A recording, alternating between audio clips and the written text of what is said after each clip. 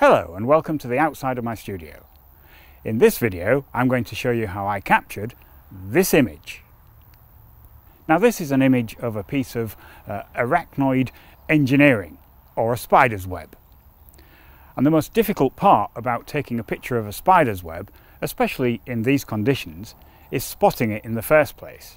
But believe it or not, there is actually a, a spider's web in amongst all these bushes. Uh, and I'm going to show you how to bring it out. So having looked through all of the uh, grass in some detail, I found a likely candidate in this spider's web just here. These are really difficult to see. Now it becomes a little more obvious if I just put a piece of black card behind it. You see that now? And that gives you a clue as to exactly how we're going to make this stand out. In order to have a go at capturing this elusive piece of uh, natural engineering, uh, I'm going to uh, just show you what you get if you just take a normal picture just straight on. I'm just using a 24 to 70 millimeter zoom at the 70 end it's actually so elusive, it's really hard to focus on it. About there somewhere, we'll just capture that. So there you go, you can see that that is fairly underwhelming. Um, so what we actually need to do is, um, one, darken down the background. Uh, two, we need to find a way to make the spider's web a bit more visible. Uh, and three, we need to uh, gain a bit of separation somehow. Now the first two of these things can be addressed at the same time, just by adding a spot of flash. So what I'm going to do is put a, uh, uh, portable flash head about here somewhere, just to illuminate it from behind. Uh, I'll use high-speed sync since we're outside, uh, so that I can uh, wind up the uh, shutter speed so that um, I end up with a dark background but an illuminated web. I'll set it up and you'll see what I mean. So for this exercise I'm going to be using a Profoto uh, B1X. This is a uh, battery powered uh, studio flash uh, with modelling light and all the other bits and pieces and I'm just going to place it down here somewhere so that it's illuminating the web from behind. Now obviously in daylight it's quite hard to set this up. I'll turn the modelling light on just to see if that helps at all, which helps a little bit. The web is very hard to see in the first place, so anything that helps uh, is a good idea. There we go. So with the flash in place, uh, I'll put this uh, flash trigger on the camera. Now the settings that I had before uh, was around about a 30th of a second at f8, actually at 100 ISO. Um, so in order to make the background go dark, I'm going to need to go up by uh, four, five stops, something like that. So instead of using a 30th of a second, um, I'm going to start off by uh, winding that up to 500th of a second, uh, which is four stops. Okay, so just to make sure that that is blacking out the background, um, I'll just attempt to take a uh, another picture. We just find the focus point again somewhere on there. Well, that's going dark. Uh, I think that should do. Um, obviously, the sun's coming round at the moment, which is illuminating part of the background. Uh, but uh, we'll see how we go. Right, so with that set, now I'll turn the flash on and we'll have another go.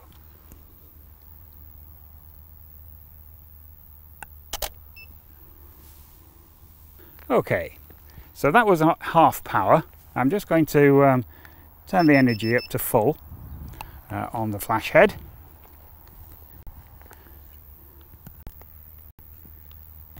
And have another go. There we go. That's starting to uh, give me the effect that I want. Now it's still quite hard to see um, the uh, spider's web at this point.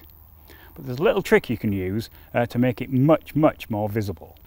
And that little trick is just to spray it uh, with a mist of water, uh, which is what I'm going to do. So just ever so gently, we don't want to damage the web. There we go. I think this one has actually long since been abandoned by its maker.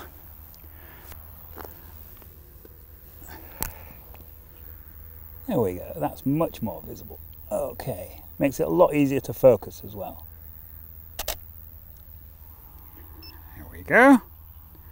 Starting to get there. I might get in a bit closer actually if I can. There we are.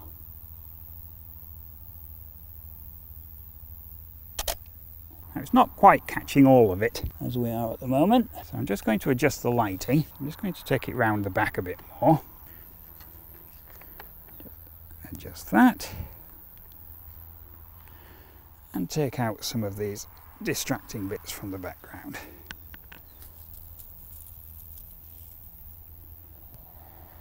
Are.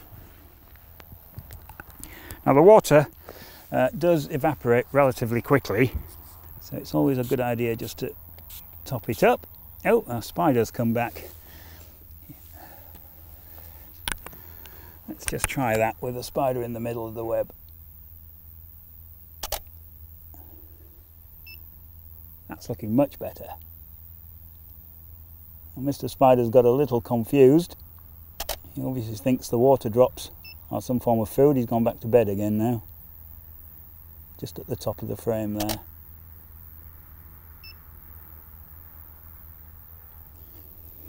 Okay, so for capturing spiders' webs, uh, the moral of the story is to um, use a uh, studio flash or you can probably do it with a reasonable speed light. Um, but uh, you do need to get it in quite close uh, it's best if you illuminate from behind uh, and using high-speed sync of course um, you will need to uh, make sure that all of the background goes uh, quite dark. You don't want it to disappear completely uh, because I think that would end up with a bit of a boring picture. We'll go into Photoshop now and just do the final bit of post-processing. Okay, so here we are in Photoshop and I've picked um, two images or two variants to, uh, to go forward with. Uh, I like this particular one because the spider's web itself uh, is very sharp. Uh, and I'm going to use this one because the spider's in the middle. Uh, it's not quite as sharp, but I think I can get away with it. So the first thing I'm going to do is just select the part of this image where the spider is. So just that bit. In fact, I might take a bit more of the web with it, like that. Right, edit, copy, go along to my other version, go to edit, paste. Right, so if I just change the opacity a bit, I should be able to move this so it's virtually in the right place. Somewhere around here. There. Okay, so with that set, I'll put that back to 100%. Um, we'll zoom in a little. And I'll just add a mask to that layer so that I can paint various bits of it out. Uh, so with black set, get a brush. This is quite a large brush. Let's, um, let's take it down a little bit. There we go. And we'll just paint this out until I'm right at the very centre. I know my other spider's there. I'll come back to him in a minute.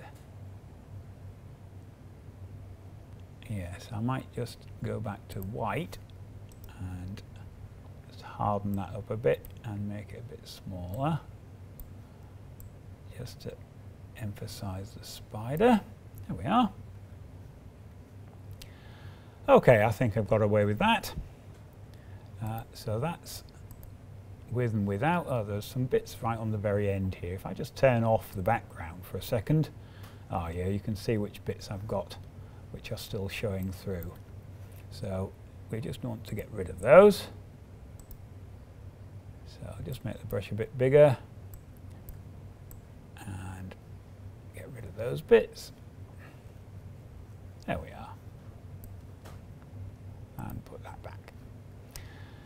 Okay, uh, now the other spider at the top here, uh, I can use another piece of web from here. So it was up here somewhere. Uh, I don't want to use this one again because uh, it was slightly out of line. And this will give me more uh, control. So I'll just grab a bit at the top there. And we'll go edit, copy. Go back to my original one. Edit, paste. Okay. Now I should be able to move that more or less into position. It's going to be around there somewhere. So what I might do is just, again, change the opacity to about 50%. Uh, so I can move it around. Yes, it's about there, isn't it?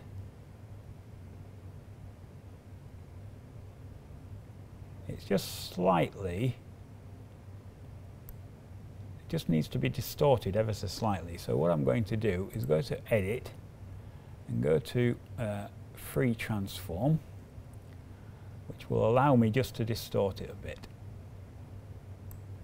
So I'll just move that in ever so slightly like that.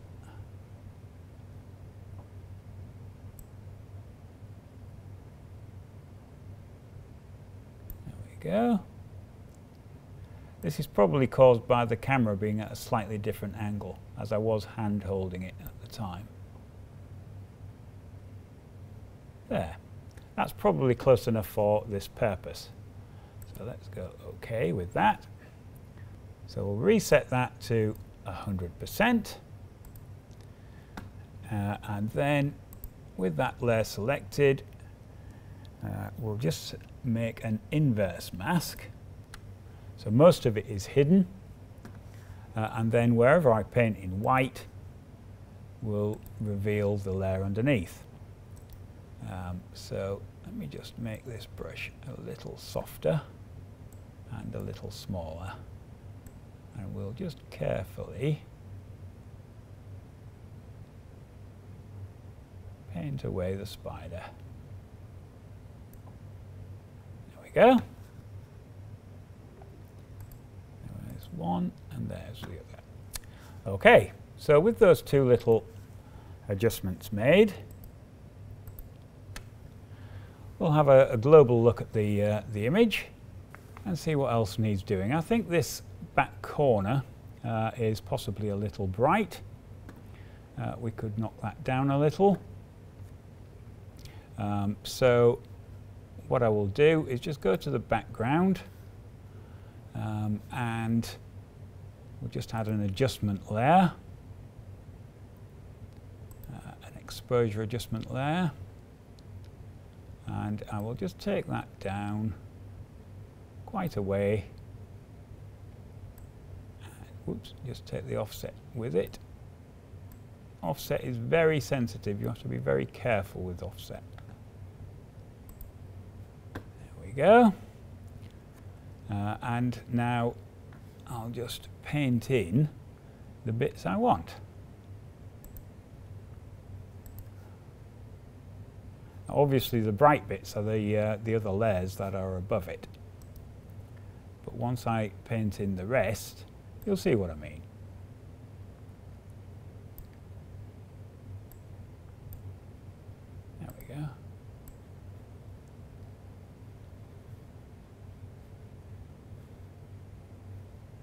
There. That's looking particularly nice, I think. Um, so if I just turn that on and off, you see the difference that makes. There we go. Uh, and then finally, I think we'll just pick a nice crop. Uh, I do tend to like 16 by 9 because it fits the video very well. Um, let's just move that in a little because there's a bit of dead space on that side. There's also these bits on the other side, which I think we could possibly get rid of.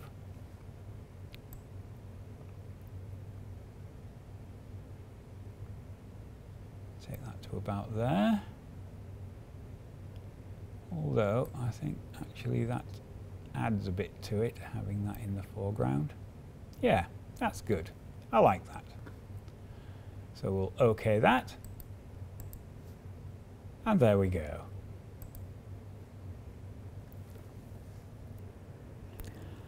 And that just goes to show what you can do uh, with a few little simple techniques uh, to capture the best of nature. Well, I hope you like seeing that, and if you like watching these sort of things, do click on the other images as they appear, and don't forget to subscribe. Thank you very much for watching.